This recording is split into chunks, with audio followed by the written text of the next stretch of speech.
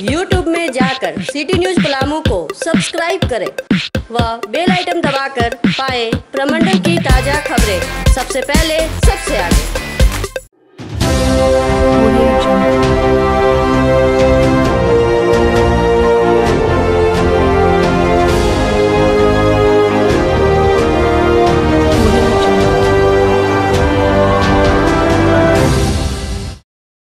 कांडी प्रखंड बीस सूत्री कार्यालय में मंगलवार को शोक सभा का आयोजन कर पूर्व प्रधानमंत्री स्वर्गीय अटल बिहारी वाजपेयी को भावभीनी श्रद्धांजलि दी गई।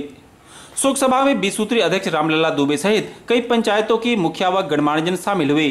इस अवसर पर दिवंगत भारत रत्न अटल बिहारी वाजपेयी के व्यक्तित्व को लोगों ने महान बतलाया। कहा कि राष्ट्र हित में उनके द्वारा किए गए कार्यों को देशवासी कभी नहीं भुला सकेंगे।